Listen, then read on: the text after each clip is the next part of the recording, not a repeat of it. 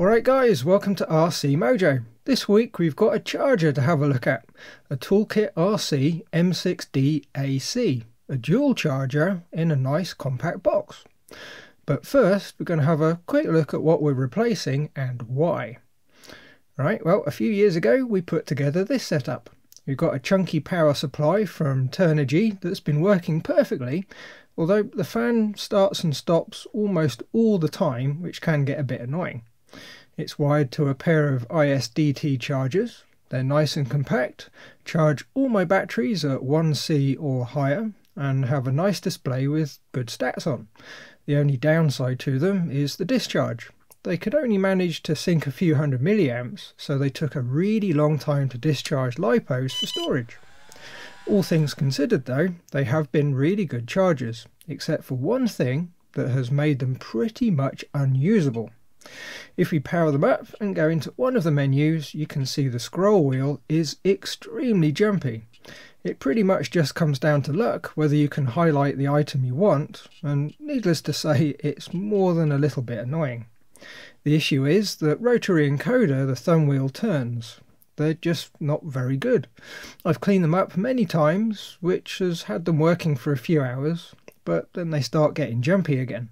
I thought about replacing the encoders with something else, but it's just not worth the bother. So, enter the replacement. It's an all-in-one unit that runs from a DC supply or its built-in main supply. It'll do a good few amps into a 2 or 3S LiPo quite happily, all the way up to 6S. Plus, it'll discharge a few amps, so getting those packs down to a storage voltage is far less of a chore. It's also got a USB-C connector that'll charge USB devices, or it can also be used to update the firmware as updates are released.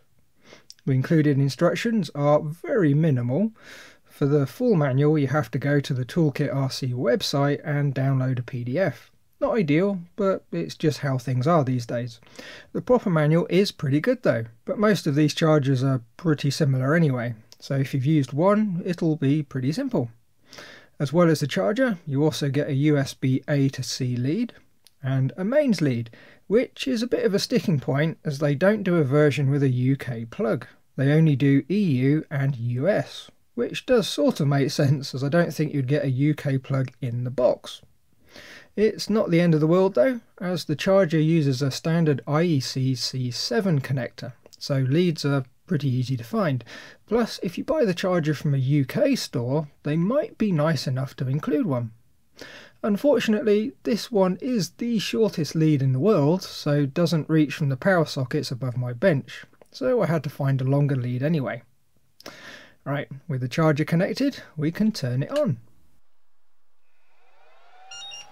We get a nice little beep and a splash screen, quickly followed by the main info screen. All nice and quick, so you're not having to wait a long time for it to get going. So far so good, except the screen does appear to be flickering. It's one of those times where in person it looks just fine, but the camera beats with the backlight. I tried switching from 50 to 60 frames per second, but that didn't help, so I ended up changing to a very slow shutter speed, which makes the screen look good, but the motion blur is a bit extreme. In hindsight, I really should have turned the brightness to maximum. The backlight would most likely have a 100% duty cycle, so no flicker, but the slow shutter is going to be good enough for today. The charger has XT60s, which are pretty much the standard these days for average size LiPos, so they just plug straight in. Above the connector is a nice status LED that lights up when there's a battery connected, and it goes red when the battery is charging, which is quite handy for seeing what's going on without having to get close enough to read the screen. The UI is nice and responsive, the thumb wheel feels pretty sturdy with a nice click, the text is clear, and even without reading the manual, the basic features are pretty easy to work out. I've set channel 1 for a storage charge at 2 amps. We've got the pack voltage, the current current, which is minus 2 amps as it's discharging, and then we have the cell voltages, which is very handy so we can see if any of the cells are wildly out of balance. Okay, while that LiPo is running, I'm going to connect up an adapter lead to the second port and top up a 6 cell NiMi. It doesn't use the balance port, so we just need the main connector. All we do is a short press to switch the charger channel, which could be clearer on the screen. You just get a little one or two in the corner of the channel info. It would be nice if it was a bit more bold, maybe changing the whole background colour. It'll do though. Then we go into the menu and set up the battery type.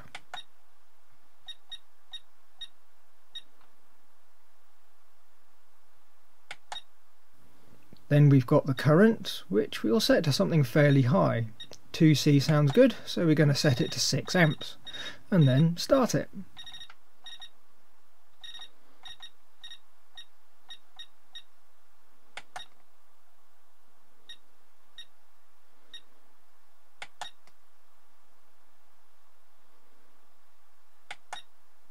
At the top right of the screen we have the charger's temperature. Now it's sinking quite a bit of current now, so it's going to build up and hopefully make the fan kick in.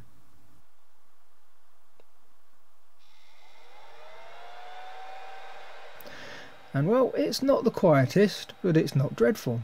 Also, the little fan icon animates, which is a nice touch.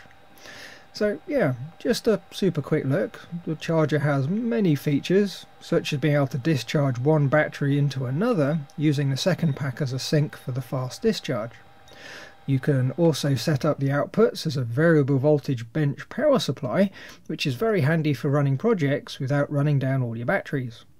It can also cycle batteries automatically, discharging and recharging, which can revive some tired battery packs.